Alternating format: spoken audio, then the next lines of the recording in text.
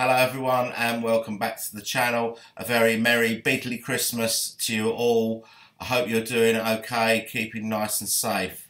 Now yesterday was the 50th anniversary of the release of the Concert for Bangladesh album. So in this video we're going to be looking back at that album and the concert and celebrating its 50th birthday. So if you ask me, hey Beatley Tone, what would you really love for Christmas? My answer would be, if you're new to the channel, please just hit the subscribe button by clicking the button over there. That would really help the channel grow. And just as important as that, if you give the, the like button a click, that would also be amazing because the last video got less likes than the Instagram post of Kim Jong Un and Donald Trump in their Speedos.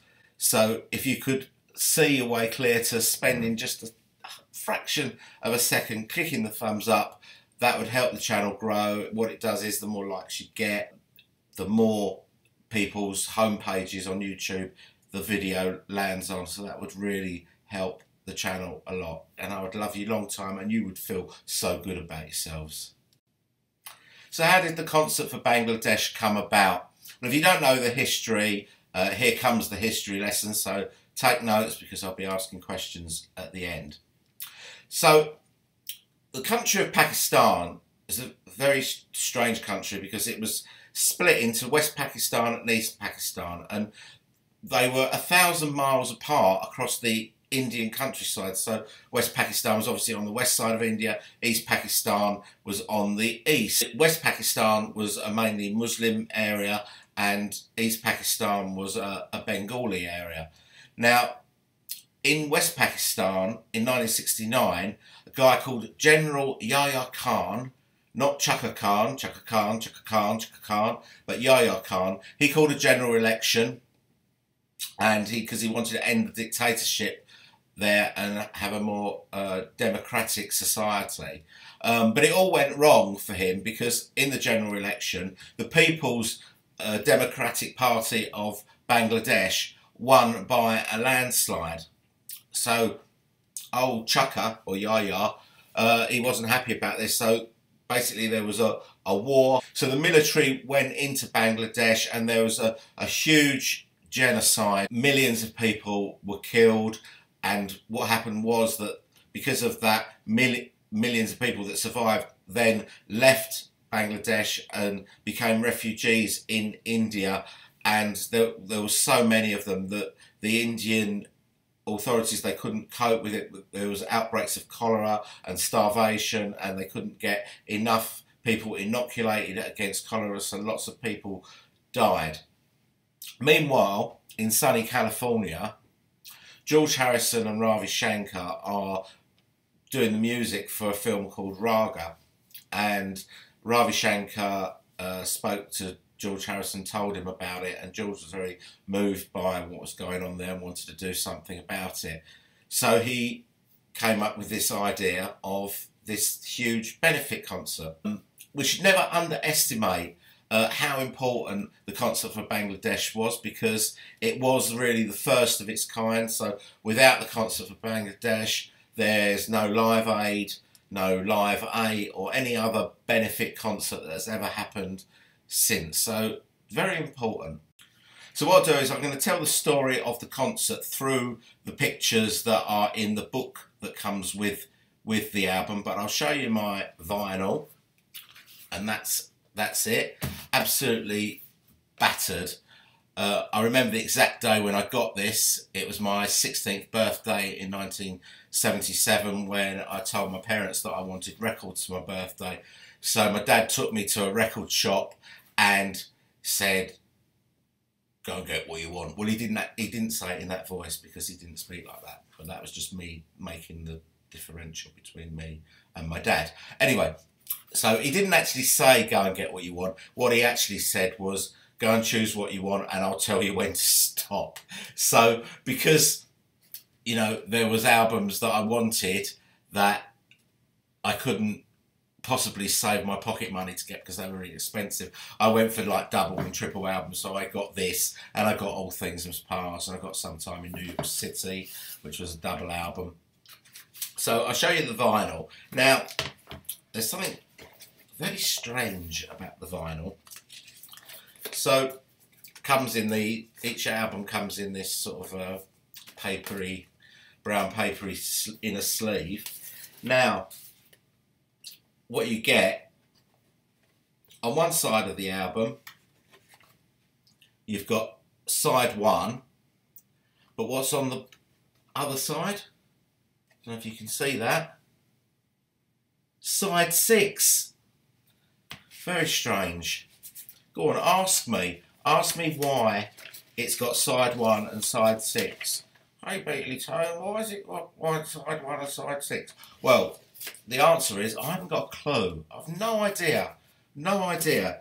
But consequently, you get one album which is uh, perfectly fine because it's got side 3 on one side and side 4 on the other. And then the third album, third record, shall I say, has got side two, and obviously on the back it's got side five. Very strange indeed. But apparently it wasn't a mispressing or anything like that. I think that most copies, or if not all of them, were like that. So the concert took place on the 1st of August 1971 at Madison Square Gardens in New York City. There were two shows, one in the afternoon and one in the evening. So George rounded up his friends and asked them if they would come and play in this concert. So we have uh, Eric Clapton, Klaus Voormann, Ringo, uh, Leon Russell, Bob Dylan, all of Badfinger, uh, Jesse Ed Davis, Don Preston out of Leon Russell Band. Uh, have I forgotten anyone? Oh, I've forgotten Billy Preston. And if you've got the album, you'll get that joke. Oh, I will say, actually, one thing I will say is that Paul apparently was asked but decided that it wouldn't be a good idea as the Beatles had just split up. And so was John. And John had agreed uh, to play it. And when he turned up at the rehearsal, he said, What would you like Yoko to do? And George said, apparently, he said, I'd like her to sit in the front row and enjoy the show. And John took umbrage to that and off he went. So he didn't he didn't play. So here is the booklet. Book, hate the word booklet. Is there a more unrock and roll word than booklet? There isn't. This is the book that kind of comes with the album. So there's there's the uh, there's the map where I was what I was talking about, where you got West Pakistan on one side, East Pakistan on the other, and you've got the the cast, all the all the tracks. It doesn't list everyone that plays on every song. There was a huge amount of musicians on here. There's George uh, introducing Ravi Shankar. So the first the first part of the show was the Indian music section, which was the serious section where the crowd were asked not to smoke during it. They performed this piece called uh, Bangla Dhun, Ravi and his musicians. There's quite a few pages dedicated to the Indian section, as you would expect uh, for the concert for Bangladesh. The pictures in this book really are superb. That's uh, Ravi ending his set, applauding the crowd. And then we have um, some pictures of the disaster uh, to remind everyone why they bought the album and why the concert took place in the first place. And there's George. So George starts off the, the rock section of the concert uh, with Wah Wah. And the track Wah Wah uh, on this on this record is um, it's not great. Uh, George's voice, you can barely hear it. it. Sounds as if they were just sort of, you know, sorting out the uh, the sound, and they hadn't quite got it right yet. Picture of uh, Eric Clapton over here, looking slightly chubby and uh, somewhat heroin withdrawed. Lovely picture of George over here in the shadow of the lights. Fantastic picture. And in the middle there, the, a plethora of uh, backing singers that we used for the concert. Then we have uh, Waiting on Your great picture there of George and Eric. Uh, Eric with a ciggy hanging out of his mouth. And also a great picture there of the two drums. I forgot to mention Jim Keltner as the uh, second drummer when I, I went through the cast. There's Ringo. Great picture there from behind Ringo and Jim Keltner. Here we have the happiest man in the world, Billy Preston, who did That's the Way God Planned It, which was his hit of the time. Great pictures of him there. What a great pose that is, that middle, that middle one. He's such a happy fella.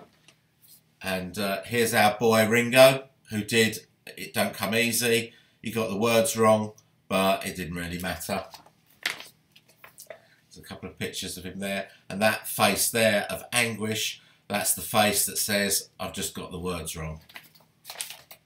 To my own song.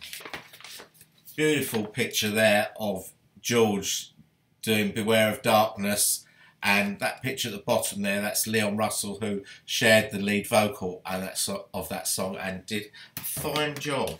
This was the introduction of the band. Uh, there's Klaus Voormann there in the middle, Billy Preston at the top. There's Carl Radle over here, and Jesse Davis here, and the singers there.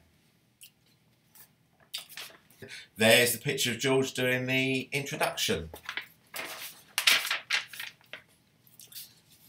My Guitar Gently Weeps uh, with uh, Eric Clapton, as you would expect.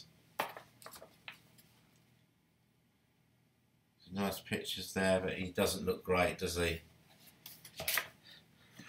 Story goes that you know he was he was he was coming off heroin at the time, and uh, he sent his girlfriend out onto the streets to get him some uncut heroin, but she couldn't manage it, so he, he had to make do with methadone. Right, this is the good bit. Jumping Jack Flash, Leon Russell. One of my favourite songs on the whole album was a medley of Jumping Jack Flash and Young Youngblood, where Leon Russell took lead vocals. And uh, look at that picture. Is that fantastic? Look at that hair. Fantastic. Fantastic. And what a, a, a great song it was. Really, br really brilliant version of both of both songs. Really, really good. And that, look at that pout. That, that is a rock pout if ever you saw one. And that's a really nice picture. There are some fantastic pictures in this book. Here comes the sun with Badfinger. And then uh, Bob Dylan. When he said, when George uh, announced Bob Dylan, there was a lot of doubt whether Bob was going to do this or not because he hadn't been on stage for for a while. When George announced, uh, "I'd like to bring our friend of, friend of us all, Mr. Bob Dylan," he didn't know for sure whether Bob was actually going to come out, but he did, and he delivered a fine set. Hard Rain's going to fall. He didn't do any of his sort of current current stuff. Uh, I think New Morning was the the, the latest album um, but he did he did all old songs, harmonica, the lot. This is a great picture from behind Bob as well. His Bobness. It's a great picture there of a bit of interaction between George and uh, Bob. When Bob did did his set, it was just um, the four of them. It was George on electric guitar, Bob on acoustic guitar, vocals, and harmonica. Leon Russell played bass on Bob Dylan's set, and Ringo played tambourine. some really great pictures of Bob Dylan in this book. And there he is, very relieved that it's all over. and that's a great picture, uh, this one here. If you can see that, of, uh, of George, Bob and Leon Russell close together. And then the concert finished off with uh, George doing something.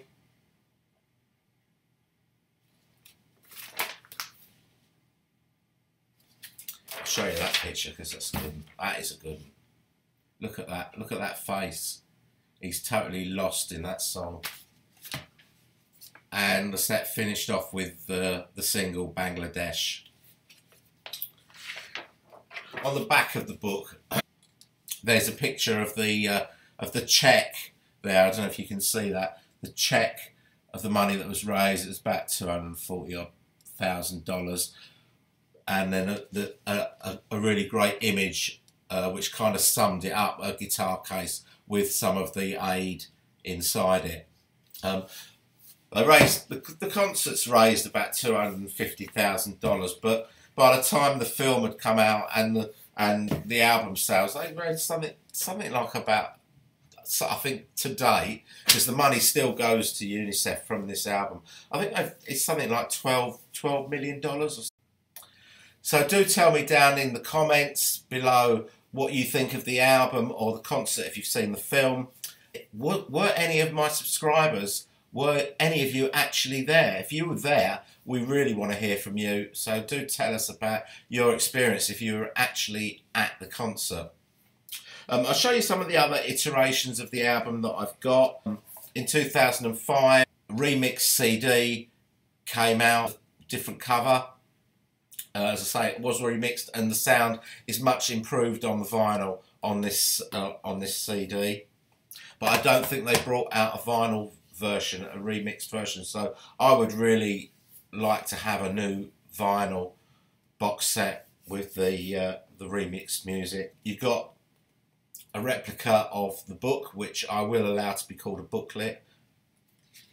Uh, it's not quite the same as the as the one that came with the record. There are a few different pictures in, in here and some text and stuff that's over the top of the pictures, which were different, something like like that. So some of the pictures are are different uh, in here, and the CDs they kind of replicate replicated the the album labels.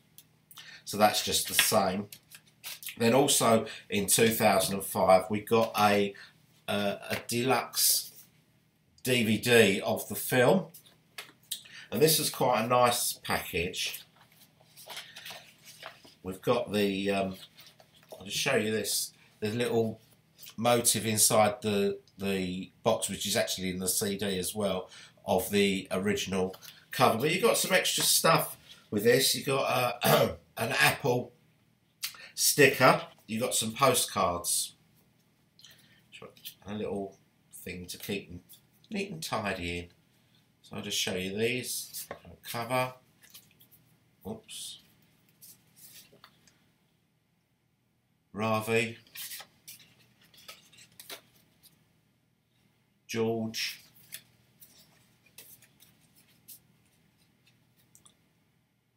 Billy. Richie, Eric, Leon, his Bobness,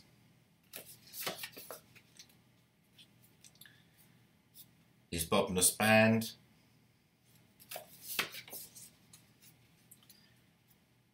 George again. And that's the lot. Also got a reprint from I Me Mine of the lyrics to Bangladesh, the song, and the promotional poster for the film, which I'll open up and show you. If I can uh, get my chubby little fingers around it. George Harrison and Friends, two performances, Sunday, August 1st. 2.30 and 8 p.m. no refunds, and tickets limited to four per person. DVD did come with another version of the book. Uh, it did, it does have some stuff in it that, that wasn't in the uh, the original. I'm not going to go through it all again. Good pictures in there. There's a little one there of a, uh, of a rehearsal.